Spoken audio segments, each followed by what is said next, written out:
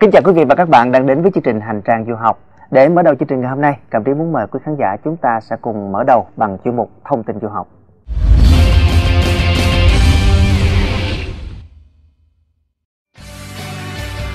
Để theo học tại Canada, du học sinh bắt buộc phải có bảo hiểm y tế. Hệ thống trung tâm giáo dục Canada cùng hợp tác với Ingo International nhằm cung cấp bảo hiểm y tế cho du học sinh quốc tế. Chương trình bảo hiểm y tế toàn diện dành cho du học sinh bao gồm tất cả các dịch vụ cần thiết khi các bạn theo học tại Canada hoặc bất cứ nơi nào khác trên thế giới, ngắn hạn hoặc dài hạn.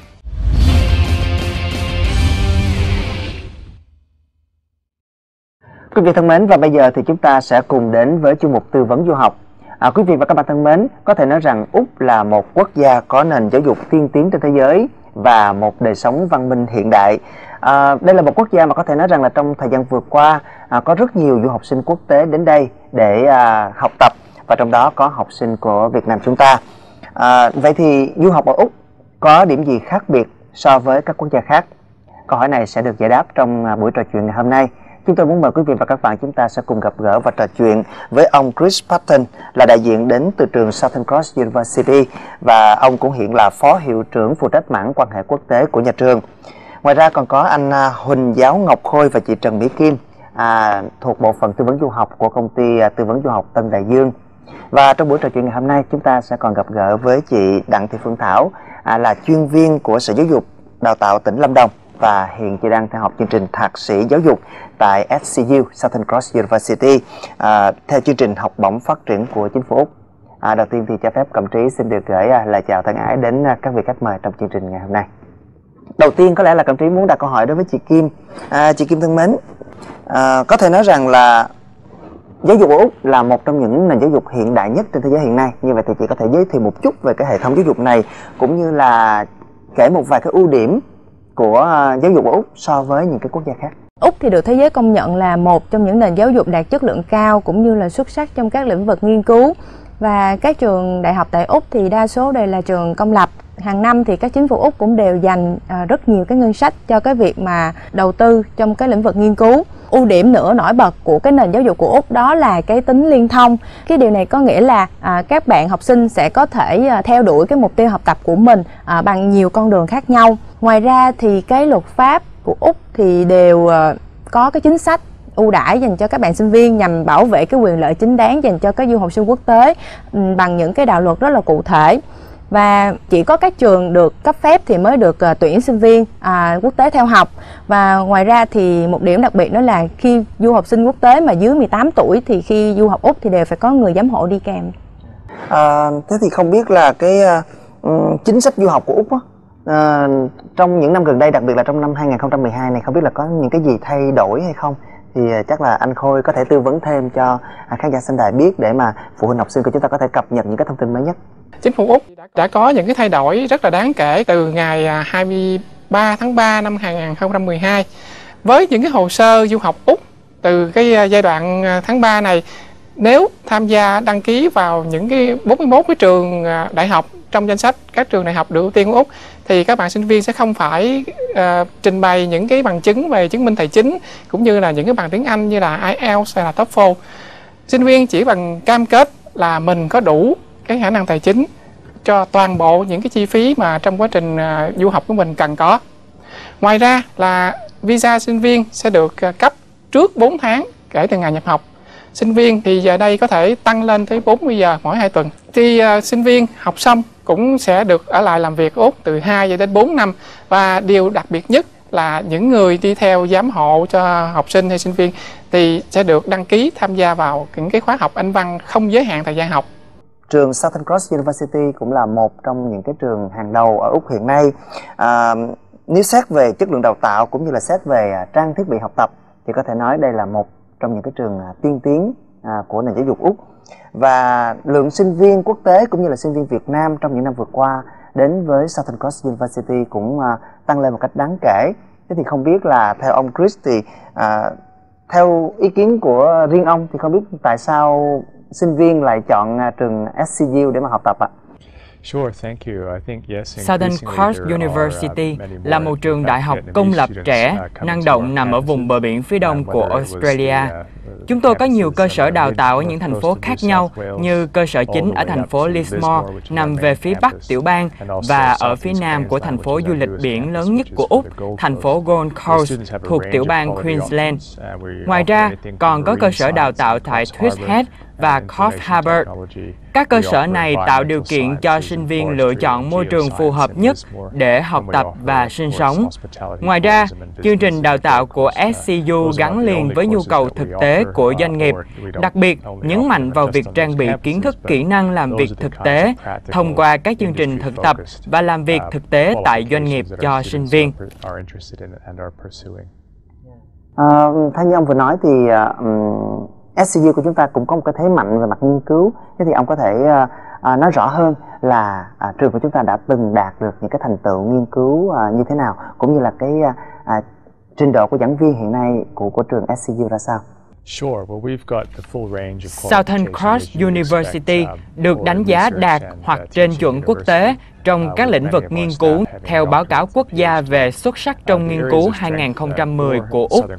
Ngành hóa địa học của SCU được trao giải thưởng với điểm xếp hạng cao nhất, điểm 5 của báo cáo quốc gia về xuất sắc trong nghiên cứu, đạt mức trên chuẩn thế giới. Báo cáo quốc gia về xuất sắc trong nghiên cứu là chương trình đánh giá năng lực nghiên cứu của các trường đại học ở Úc, thực hiện bởi Bộ Nghiên cứu, Khoa học Công nghệ và Cải tiến Kỹ thuật Liên bang.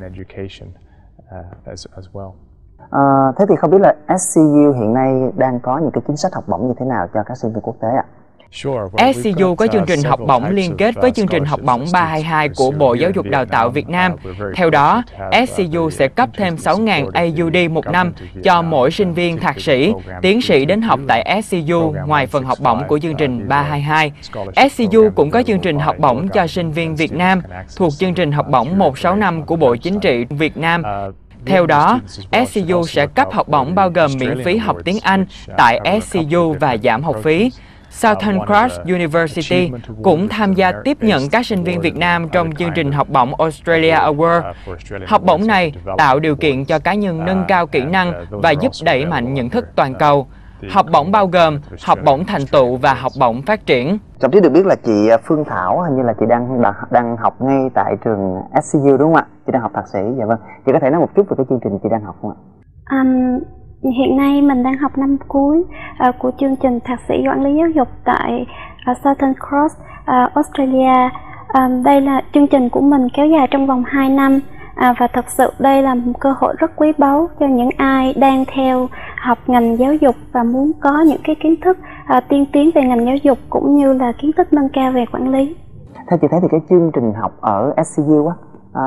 có những cái điểm gì tiên tiến? À, thật sự khi mình tới SCU thì mình được cảm nhận một môi trường học tập à, rất là Australia. À, điều đầu tiên mình cảm nhận được đó là sự thân thiện à, vì gần như là khi tới SCU thì mình được Ừ, sự giúp đỡ rất là tận tình à, của bạn bè quốc tế. À, hơn nữa thì thầy cô ở SCU rất là thân thiện à, và ừ,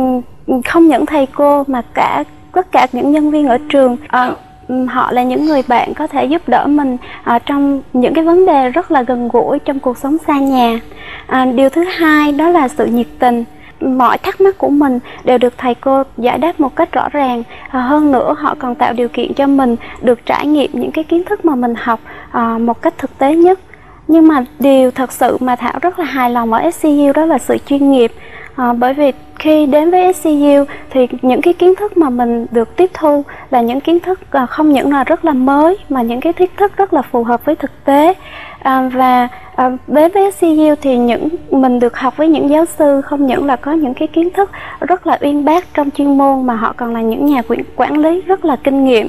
à, đối với cái ngành học thảo đang học là ngành học giáo dục thì ở SCU quy tụ những giáo sư và những giáo viên à, có những cái kinh nghiệm thực tế à, rất là sát với Việt Nam bởi vì họ từng làm việc với Việt Nam. À, trong những cái tháng năm mà học tại uh, úc như vậy á, thì uh, Thảo có nhận được những cái sự trợ giúp hỗ trợ thêm gì từ phía trường SCU à, nghĩa là những cái hoạt động ngoài học tập á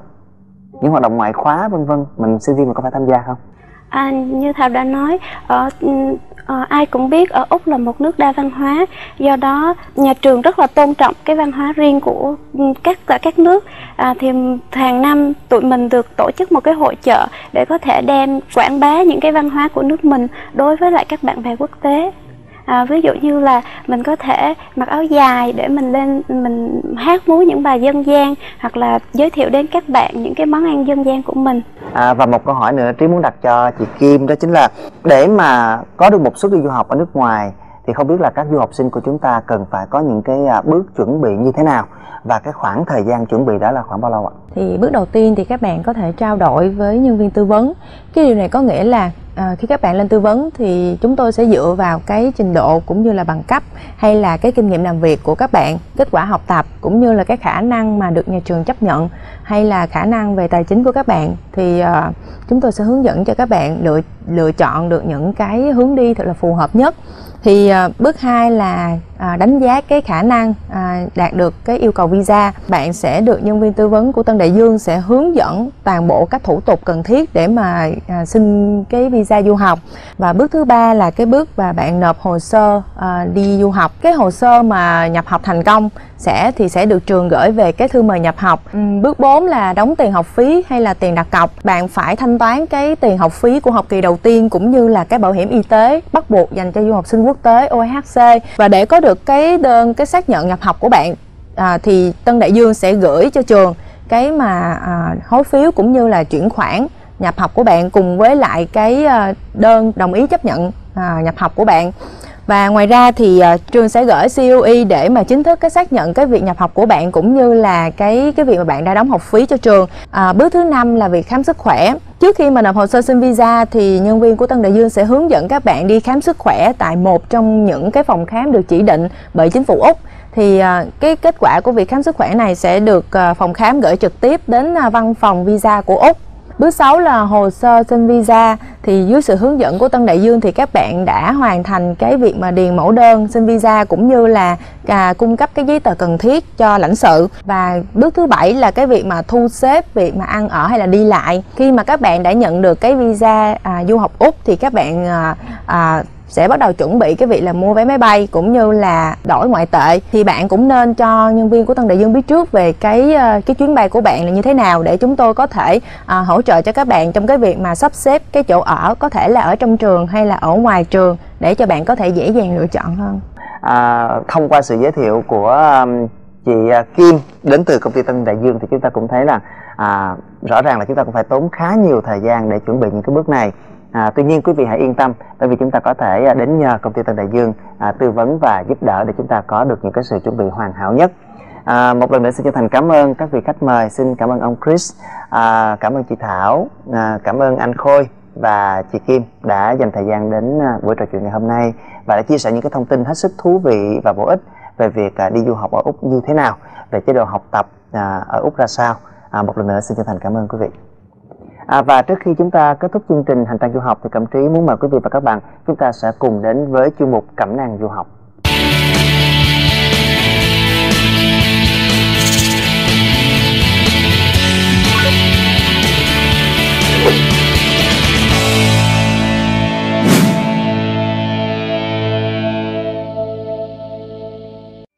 Chuyên mục Cẩm nang du học hôm nay sẽ chia sẻ với các bạn một vài điều cần lưu ý khi du học ở Đức hầu hết người Đức sử dụng thanh toán bằng tiền mặt và thẻ ghi nợ. Các siêu thị lớn và khách sạn chấp nhận thẻ tín dụng, nhưng các cửa hàng nhỏ thì không. Các nhà hàng và quán cà phê cũng hiếm khi chấp nhận thẻ tín dụng và thẻ ghi nợ, nên tốt nhất nếu ở Đức, bạn nên mang theo nhiều tiền mặt. Nhiều cửa hàng, đặc biệt là cửa hàng tạp hóa, không cung cấp túi đựng cho người mua, thường người mua sẽ mang túi sẵn để đựng. Khi mua đồ uống, hầu hết những vỏ chai là thủy tinh và chai nhựa và được mua lại với mức giá từ 0,08 đến 0,25 euro. Vì vậy, hãy kiểm tra biểu tượng tái chế để xác định xem có thể bán lại hay không. Hầu hết các cửa hàng ở Đức mở cửa trong tuần từ 9 giờ sáng hoặc 10 giờ và đóng cửa vào lúc 6 giờ hoặc 8 giờ tối và đóng cửa sớm hơn vào ngày thứ Bảy, thậm chí là lúc 2 giờ chiều. Để đáp ứng cho những nhu cầu khẩn cấp, bạn có thể đến các cửa hàng tiện lợi tại các ga xe bạn sẽ không tìm thấy thuốc aspirin trong siêu thị hoặc cửa hàng thuốc bình thường. Các quầy thuốc không được bán những loại thuốc đó, bạn chỉ có thể mua tại các hiệu thuốc lớn đạt tiêu chuẩn.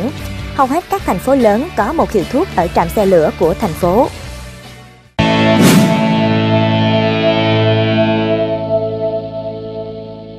À, quý khán giả thân mến, chương trình hành trang du học đến đây là kết thúc. Xin chào và hẹn gặp lại quý vị trong chương trình kỳ sau.